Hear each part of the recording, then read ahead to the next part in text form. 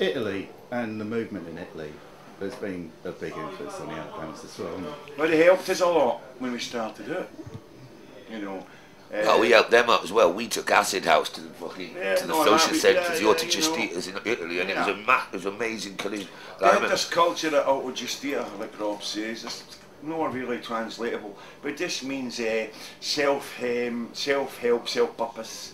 You would move into an abandoned building, do it up. They'd get a liquor license in there. They'd have a bookshop in there. They'd have their meetings in there, and they'd have their entertainment at the weekends. Well, and and you know, sorry.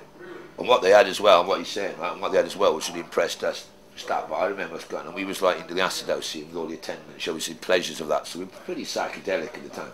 I remember going to to um, Brescia. Brescia, right, and what, and there's just these massive, almost like Andy Warhol posters of like Massive caricatures of Bobby Alessandro Sands. Mussolini, Alessandro Mussolini, and all that.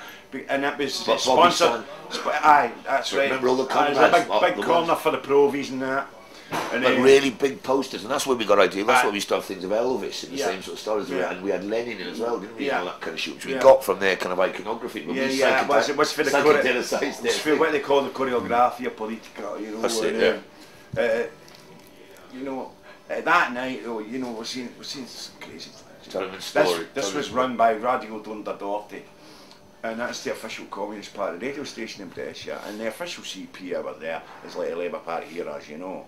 Got this lovely space for the, the turntables and that, and this old stable, low roof, long, old stone, held the sound.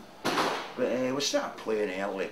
And people are coming up, pulling up school chairs and looking at you like that for five minutes and then going walking away. A couple of them getting up and going like that. And walking away. and uh, anyway. We're doing a full on acid house, right? This is full So of anyway, banging I guess, you Chicago. got, I guess you about 11 o'clock and all these punk rock groups are finishing that. And this guy comes in and goes, alright, he's a finished now. And we're like, nah, nah, nah, nah, nah, nah, nah. We don't start till all them groups finish.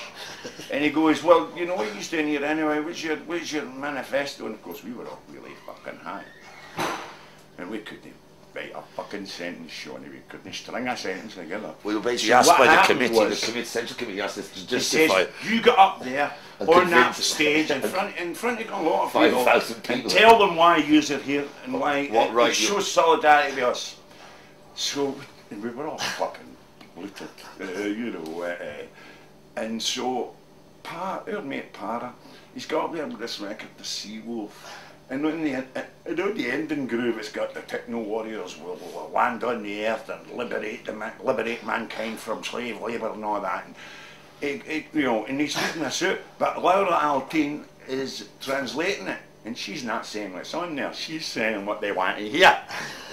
so then they've come running into us and going, marvellous, you're radical, play all night long. We want to come in and see what it's like. yeah, that was, that was the night, we, and that was the night we started using Larry and D Wayne, and we couldn't stop it.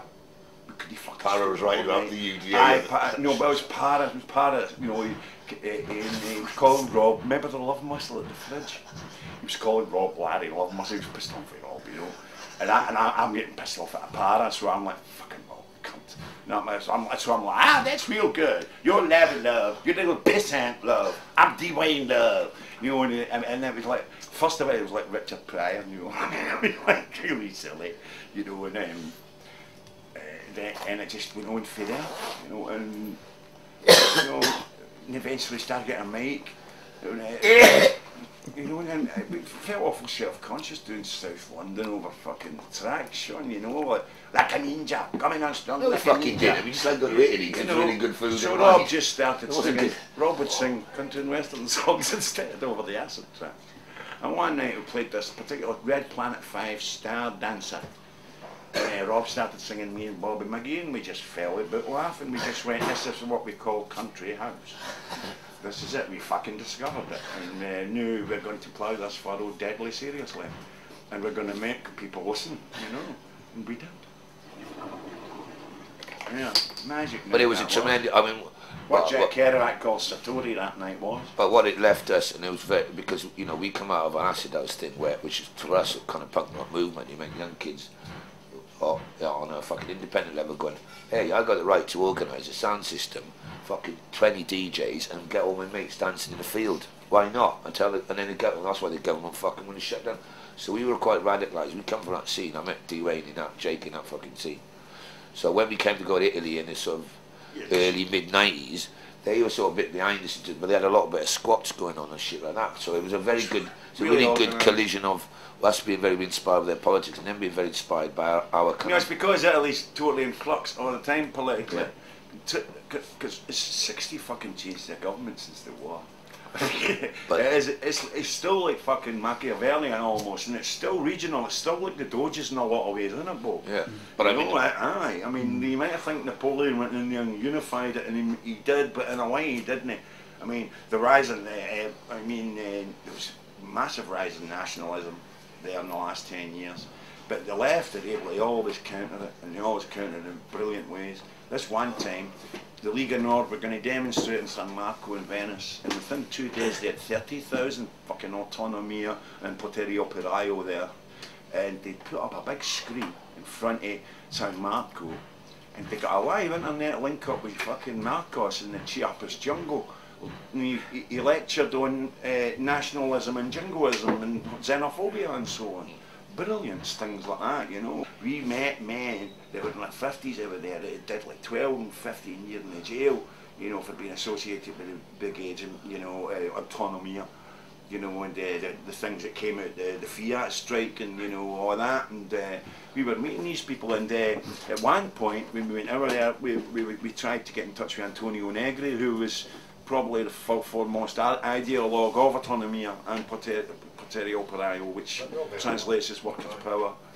Then we never did be- because the guy had been in the neck 15 years and he was just starting to get out and we was and he was under always under house arrest, you know.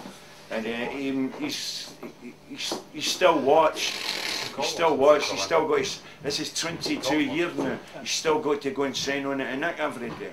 Now this is an academic. This is an English professor at Padua University, Sean.